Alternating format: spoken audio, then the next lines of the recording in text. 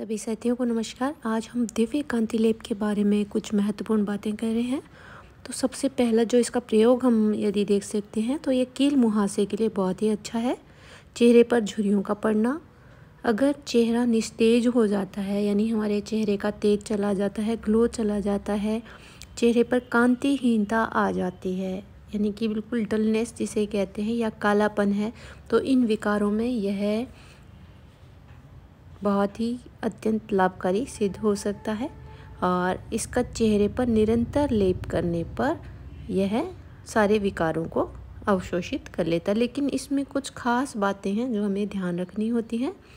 तो सबसे पहले इसका प्रयोग जब हम करते हैं, कांति लेप का जब हम प्रयोग करते हैं तो सबसे पहले इसमें ध्यान रखने की जो बात है, वह यह है कि जब भी आप इसे अप्लाई करेंगे तो कभी भी इसे रब नहीं करना है, क्योंकि थोड़ा खुरदरा होता है तो इससे स्किन जो है ख़राब हो सकती है। बस इसको सिंपली अप्लाई करके आपको कुछ टाइम तक के लिए रुक जाना होता है, जिससे ये स्किन में एब्जॉर्व हो जाए। और दूसरी इसकी खासियत यह है कि इससे चेहरे का प्राकृतिक सौंदर्य निखरता है। मुख पर ओज और तेज और कांति आ जाती है, जैसा कि इसके नाम से ही आप जान सकते हैं। लेकिन आप इसके प्रयोग से पहले मेरी राय यह है कि इसे अपनी स्किन पर टेस्ट कर लेना चाहिए कि आपको कहीं इससे कोई एलर्जी तो नहीं है, क्योंकि इसमें जो है मेहंदी बीज पत्र होते हैं, आमा हल्दी है हल्दी है तो इन चीज़ों से यदि आपको एलर्जी है, किसी को जायफल से एलर्जी है या मंजीठ सफ़ेद चंदन है, सुगंध बाला है, स्फटिक भस्म है, समुद्र फेन है, समुद्र फेन का तो काम ही होता है सफ़ाई करना, त्वचा की सफ़ाई करना। और पुराने समय से हम समुद्र झा को काम में लेते आते हैं स्किन के लिए। कत्था है इसमें और कपूर है। तो ये सभी चीज़ों का ये मिक्सचर है। इसमें सभी चीज़ें मिलाई गई हैं।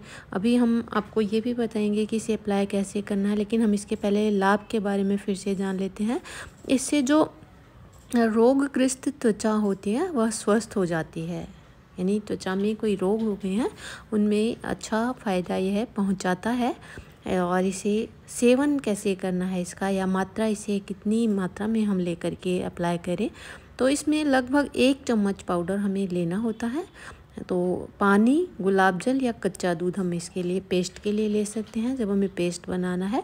और जो पेस्ट बन जाएगा, उसे चेहरे पर लगा करके तीन चार घंटे तक लगा रहने देना है। तो रात में यह प्रयोग कर सकते हो, जब तीन चार घंटे हम इसे अप्लाई करके आराम से रख देंगे, क्योंकि दिन में तो पॉसिबल नहीं है तीन या चार घंटे लगाना। बाद में इसे हल्के गुनगुने पानी से धो देना है और बहुत ज़्यादा स्किन को पहुँचना नहीं है। इस तरह से हम इसे प्रयोग में ला सकते हैं। Thank you for watching